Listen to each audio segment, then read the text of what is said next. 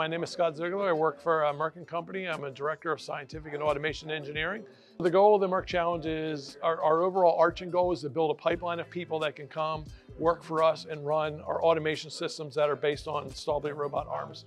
In order to do that, we are trying to impress upon Merck, impress upon this college and the students the need for a cross-disciplinary approach to solving these problems. As Dean, I oversee all of our programs in science, technology, engineering, mathematics.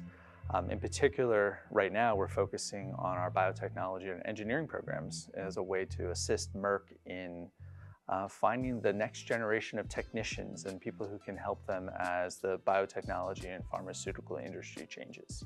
Montco, as we call it, uh, is uh, located in suburban Philadelphia. We have between eight and 9,000 students. Um, they're located at two campuses. The controller has been easy to navigate just to get going, have like a proof of concept and program what we need for the Merck Challenge.